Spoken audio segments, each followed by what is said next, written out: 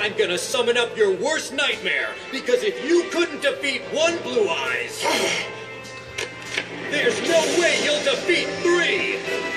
Especially when combined as the Blue Eyes Ultimate Dragon! If you think he's scary now, just wait till he attacks! In fact, don't wait. Blue Eyes Ultimate